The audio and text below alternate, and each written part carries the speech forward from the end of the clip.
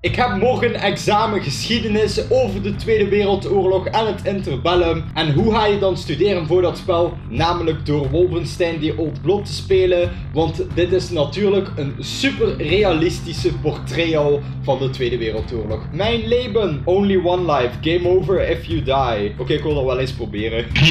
Die papieren bitte.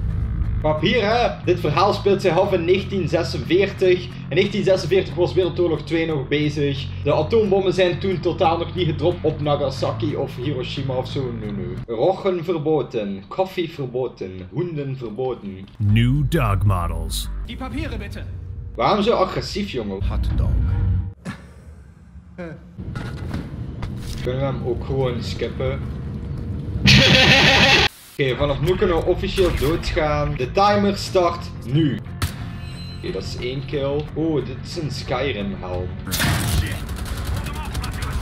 Oké, dat is één dode. Oh my god. Kom aan, bitches. Oh, what the fuck? Dat zijn die guys van Paaseiland.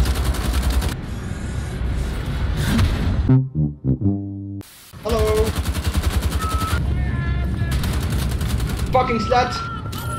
Alarm, alarm, alarm, alarm. Goodbye, Castle Wolfenstein. I will not miss you. Kom aan, motherfuckers. Waarom proberen jullie nog? Jullie gaan toch dood. Eh, nee, wat doe ik? Kom aan. Allee, kom. What the fuck?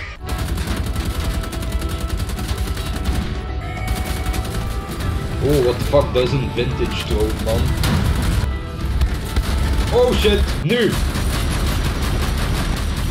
Germanian Express. Choo choo! Hondje!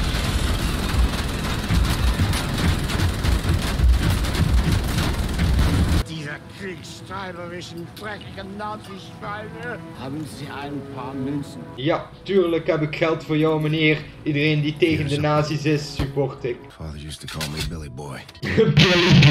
You look like a BJ. Van eh Brazzers. Brazzers? Brazzers? Brazzers? Got a zombie army, and you can't harm me. Yeah, who do you voodoo,